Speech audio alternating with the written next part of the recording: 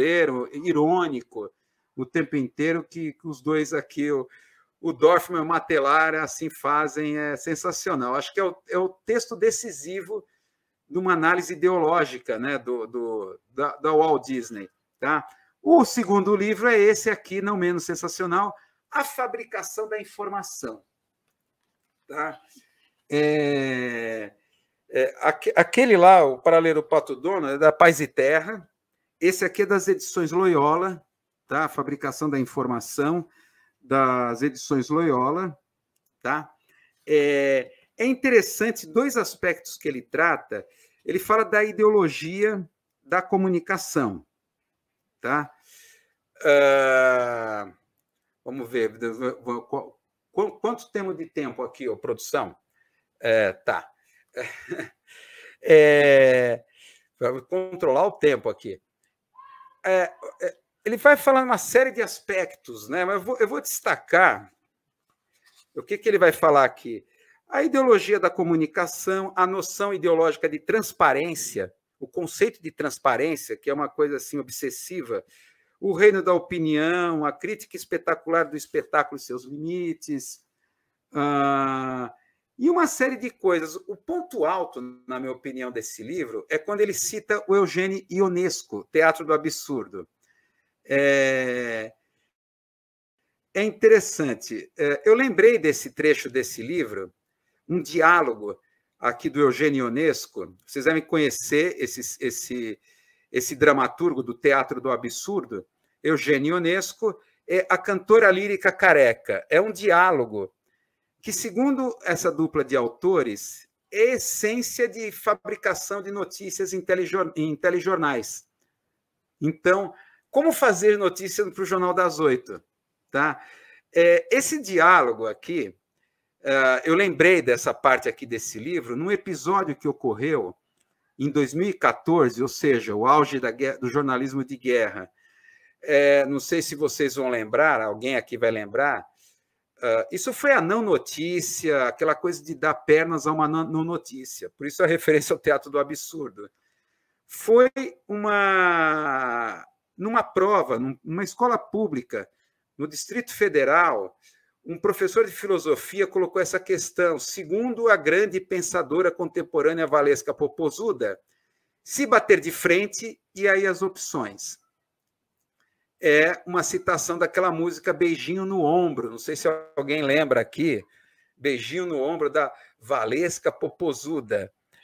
Uh, esse professor chamado Antônio Kubitschek, que vocês estão vendo aqui, usou uma estratégia didática que é rotineira entre os professores. Eu próprio já usei para discussão, até em prova, em sala de aula, desde Talking Heads, letras de Talking Heads, Madonna, Latino, até o funk dança da motinha, utilizando, tá?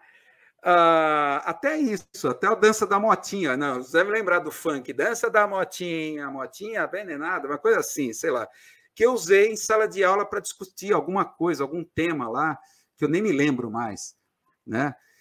Foi um escândalo. Então, aquela coisa do jornalismo de guerra, que foi colocado, olha como é que está a, a educação brasileira. Era aquela coisa que qualquer coisa deveria dar pernas para desgastar o governo.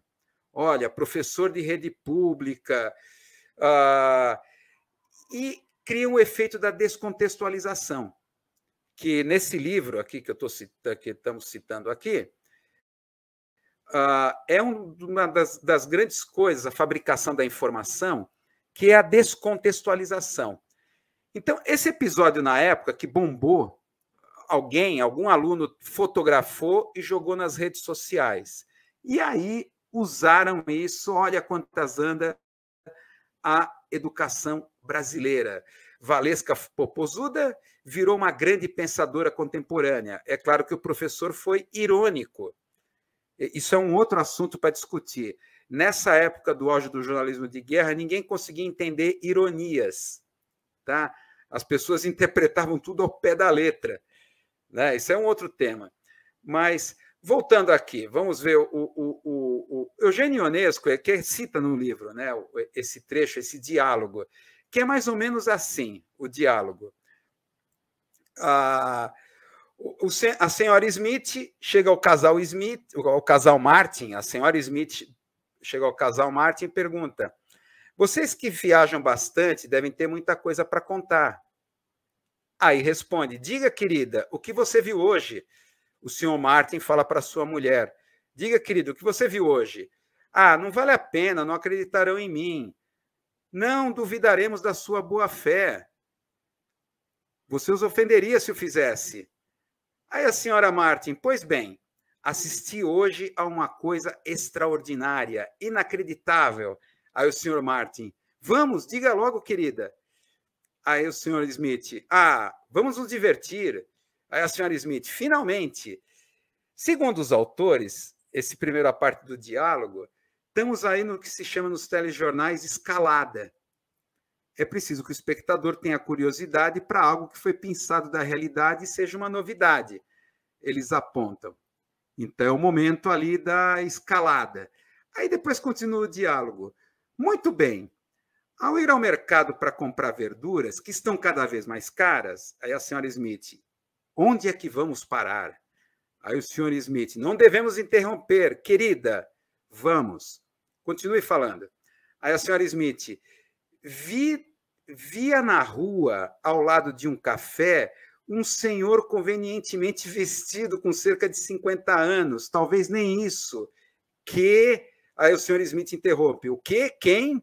Senhor Smith, o que? Quem o quê?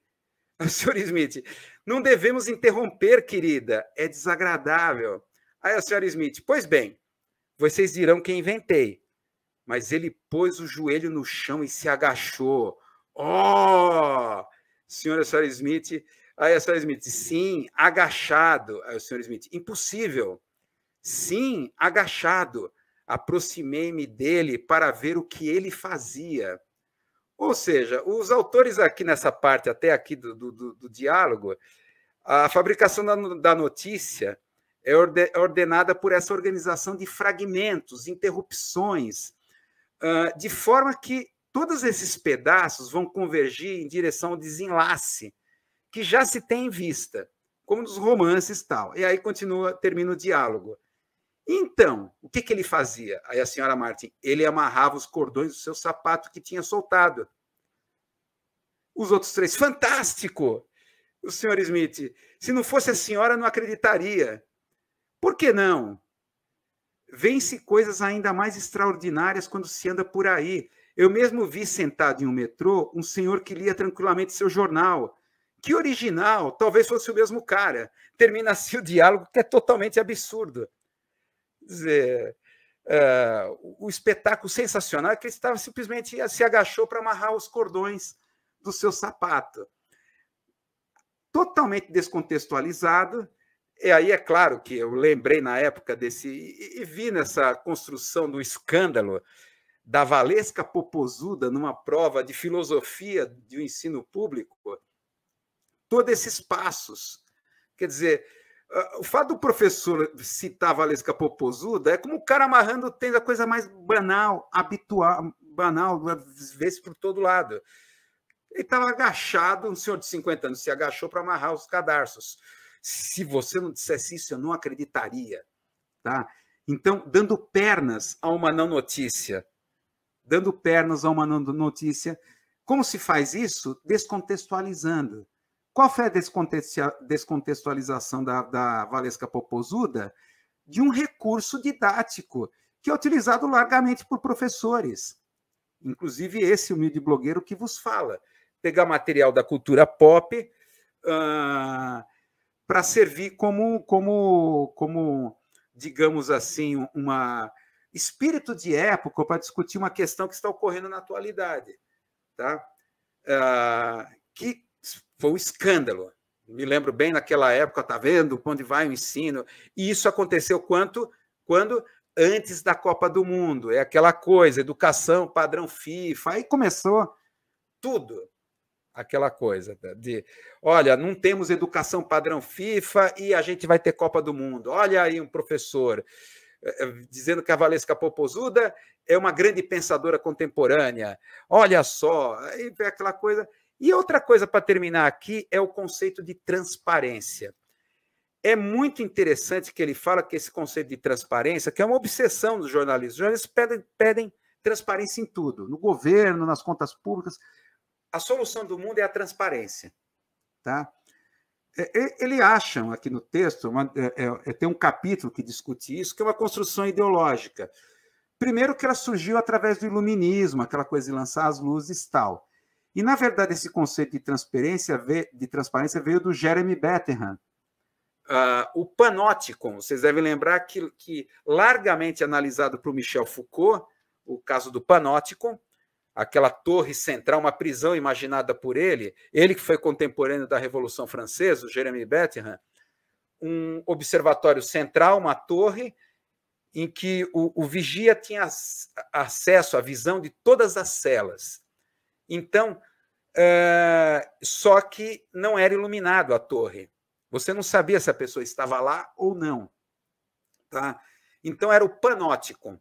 Então, essa ideia de transparência total era a crença de que as pessoas se transformariam, voltariam para a sociedade transformadas, uh, sob a constante ameaça da transparência. Então é o que está por trás, bota câmera para todo lugar, estão sendo vigiados constantemente. É a transparência total. A ideia moral de que a, a transparência nos tornará pessoas boas. Tudo surge dessa visão maluca do panótico do Jeremy Betterham. O conceito de transparência como um conceito moralmente bom que ajudará a transformar as pessoas em pessoas boas. Tá? Uh, só que ele fala o seguinte: o problema é que desde do, do, do, do, do episódio dos ossários de Timisoara, não sei se alguém lembra desse episódio, ossários de Timisoara, largamente analisado por Baudrillard, na, na, na queda do ditador da Romênia, o sei se vocês lembram desse episódio, desse, desse acontecimento, que ele é um ditador que, para a mídia ocidental, assassino, Aquela coisa que se fala do Putin também. Assassino, ah, não sei o quê. Aí descobriu-se um ossário na região de Timisoara. Tipo assim, uma vala com corpos e ossos enormes. Foi chamada a mídia ocidental. Foram lá fotógrafos e cinegrafistas para filmar. Está vendo? Vítimas do governo da ditadura de Sosesco, eh, é, presos políticos assassinados e jogados, jogados nessa vala comum, que lembrava assim coisas do Terceiro Reich, coisas do nazismo tal. O que aconteceu? Um escândalo, esse escândalo internacional que favoreceu a queda do ditador Sosesco, largamente explorado pela mídia. Depois descobriram que, na verdade, tudo aquilo foi montado. Foi atraído cinegrafistas e repórteres, tá? Foi um grande simulacro, um pseudo-evento, um não acontecimento, como diria o Baudrillard. Ah, é, na verdade, aquele ossário, aquela vala, que é, é, ali a região de Timisoara era tão pobre que os moradores não tinham grana para pagar lápide, enterro em cemitério, velório. Então, simplesmente, as, as pessoas eram colocadas naquela vala comum, devido à extrema pobreza. Não eram criminosos não eram presos políticos assassinados pela ditadura e tudo mais. A questão é que nessa, nessa, nessa cultura da transparência, uh, os jornalistas passaram a fazer parte da própria notícia. Há um problema epistemológico que é levantado por esse livro, de que, na verdade, os fatos começam a ser produzidos para os jornalistas. Então, os jornalistas, eh, eles não são. É, é, é, o mundo está transparente e nós somos, por isso, neutros. Então, nós investigamos, então deve haver transparência em tudo. Tá? Só que o problema é que os fatos começam a ser produzidos para os jornalistas. Esse, é, é, é, como foi a Guerra do Golfo e como vários outros acontecimentos aí que ocorrem, é, coreografados, criados para os jornalistas cobrirem, porque os jornalistas se acham que estão impingidos de uma missão que é testemunhar aquilo que eles veem. O que, que faz o jornalista? Reporta aquilo que eles veem, a transparência do mundo. Então, olha, esse capítulo aqui sobre a transparência é assim demolidor, relativiza essa questão do jornalismo e essa ideologia da transparência, tá? Porque os jornalistas estão esquecendo que eles próprios fazem parte da notícia, tá? Eles não são observadores neutros de fatos transparentes, uma suposta transparência do mundo que eles exigem o tempo inteiro que o mundo seja assim, transparentes para os jornalistas, tá? Uh, se não há transparência, é censura, é governo autocrata e tudo mais. Só que o problema é que os fatos, desde esse episódio, foi, foi em 1989, os ossários de Timisoara, que é um divisor de. Depois veio a Guerra do Golfo, e aí você tem esse, uma guerra feita para jornalistas, a Guerra do Golfo. Tá? Ah, a guerra como, como um videogame, né, como ficou famosa, né, através da cobertura da CNN. Uh,